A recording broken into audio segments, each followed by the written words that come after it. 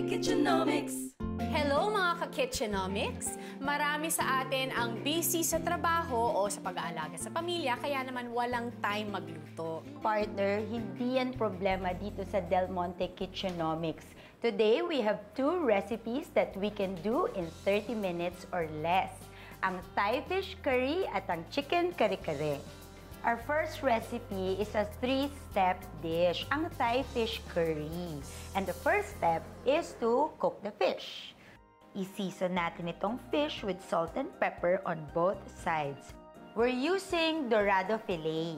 So ano pang klase ng fish ang pwedeng gamitin dito, partner? Pwede naman partner ang ibang neutral tasting fishes. Ah. Huwag lang yung masyadong malansa.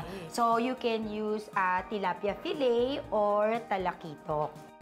Dredge natin sa cornstarch, then fry. Once cooked, set aside.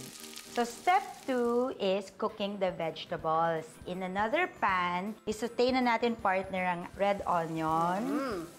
Then, ang ating red bell pepper and chicharo.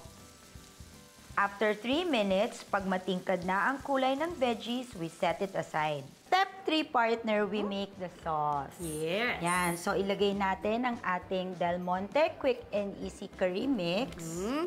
At ang ating Del Monte Quick and Easy Gata Mix. Yes. In a bowl. And then, we add the water.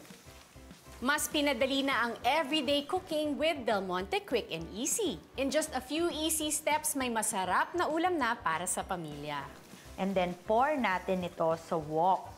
So, now, let's Okay. add our lime juice, brown sugar, and then patis.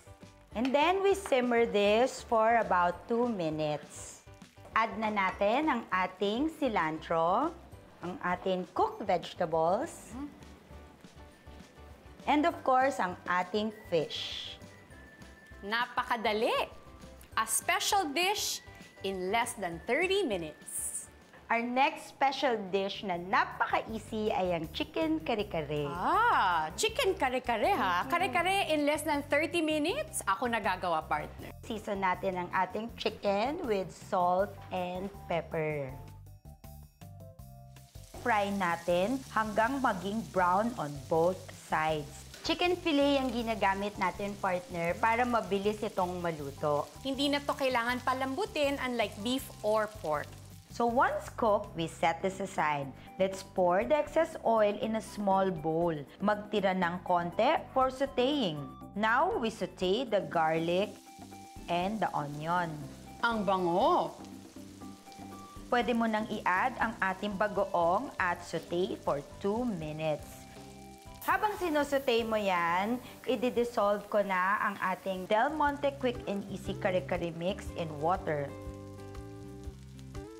Siguradong kuha na kaagad ang lasang gusto mo with Del Monte Quick and Easy Kare-Kare Mix na may real peanuts. Just add the kare-kare mix and then the cornstarch that has been dissolved in 1 teaspoon of water.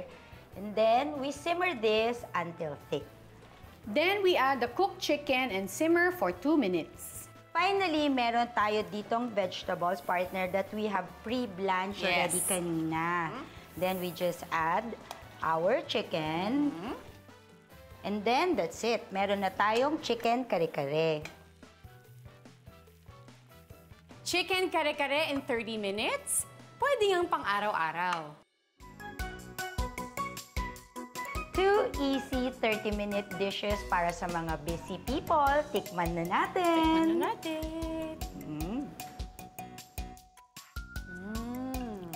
Gusto ko tong uh, Thai fish curry partner. At nagawa natin ito in just 3 easy steps. Ito namang chicken kare-kare. Mm. Alam mo, hindi siya time-consuming gawin. Yung lasa niya, all-in-one na. Madali siyang lutuin at masarap siyang kainin. Less time to cook? No problem. Basta ka-partner mo sa kusina ang Del Monte Kitchenomics. For more quick and easy recipe ideas, just log on to our website. Happy cooking! Del Monte Kitchenomics.